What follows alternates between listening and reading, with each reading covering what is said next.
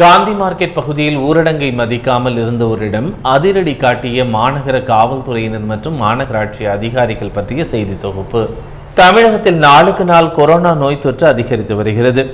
அதனை கட்டுப்படுத்தும் நோக்கில் தமிழக முதலமைச்சர் ஸ்டாலின் கட்டுப்பாடுகள் அடங்கிய ஊரடங்கை கடந்த பத்தாம் தேதி முதல் இருபத்தி நான்காம் தேதி வரை அமல்படுத்தியுள்ளார். ஊரடங்கு அமல்படுத்தப்பட்ட நான்கு நாட்களாக ஊரடங்கை மதிக்காமல் தேவையில்லாமல் பொதுமக்கள் வெளியில் சுற்றித் திரிந்து நோயின் தீவிரத்தை அதிகமாக்கி வருகின்றனர். திருச்சி காந்தி மார்க்கெட் பகுதியில் சாலையிலும் பஸ் ஸ்டாப்பை ஆக்கிரமித்தும் போடப்பட்ட தரைக்கடைகளால் பொதுமக்கள் கூட்டம் கூட்டமாக சமூக இடைவெளியை மறந்து விற்பனை செய்து கொண்டிருந்தனர்.